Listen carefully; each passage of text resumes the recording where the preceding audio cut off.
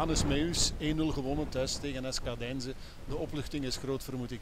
Ja, enorm. Ehm, zeker met die achterstallige match was deze voor ons uh, de competitieopener. En ja, toch tegen een heel sterk team gespeeld vandaag.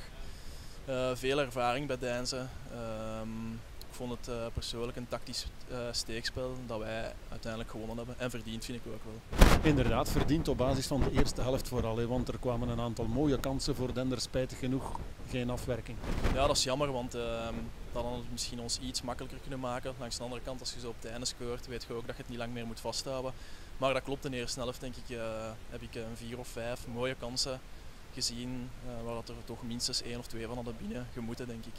Ja, de tweede helft leek eerder in het voordeel van Deinze te gaan uitdraaien. Ze hadden meer balbezit, uh, zonder uitgespeelde kansen, want onze keeper heeft helemaal op het laatste één bal moeten pakken.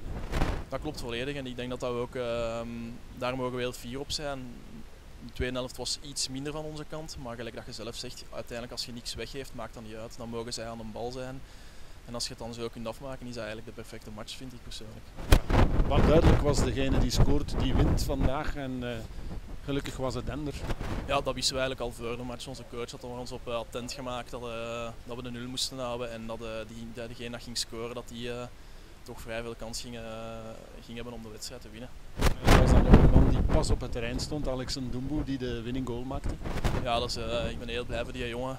Um, die was hier vorig jaar ook al heeft uh, wegens kwetsuren niet veel kansen kunnen hebben. Dat is een jongen die heel hard werkt altijd, hij heeft uh, heel veel potentieel.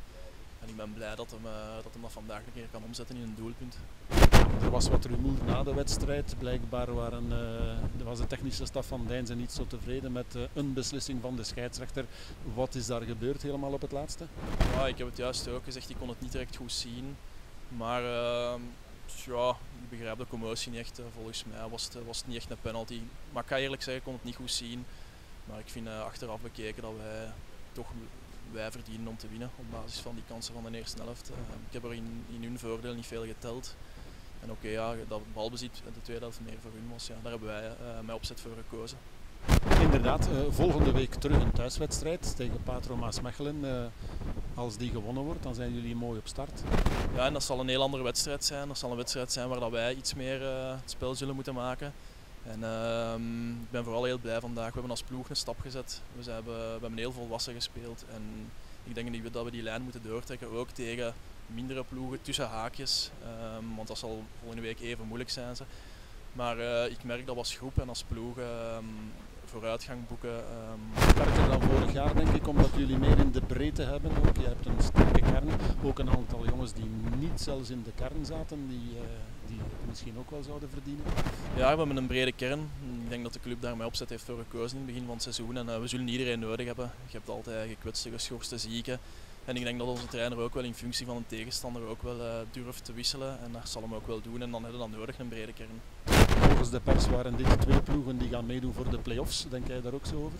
Oh, nee, helemaal niet. Ik denk dat Deinze wel uh, dat, Deinze dat uh, mag en moet uh, zeggen. Als ik zie wat er bij Deinzen allemaal rondloopt, als ik alleen zie wat er in de voorlinie rondloopt. Um, bij ons toch? Ook bij ons, maar als je ziet dat Andel bij ons het voortreffelijk doet in de spits, maar eigenlijk zie van Deinze dat daar een Lallemau en een Mezin speelt en een Romero dat vorig jaar bij Hamme 22 golen maakt dan denk ik toch wel dat zij moeten zeggen dat zij in de top 4 zullen spelen. En eerlijk gezegd, wij zouden dat kunnen, maar wij moeten dat niet zeggen. Helemaal niet. Ik denk dat het beter is dat wij onze wat op de achtergrond houden. En ploegen die zoveel potentieel hebben lopen als Deinze, die, die moeten dat in mijn ogen. Jij wordt later trainer, dat hoor ik nu al.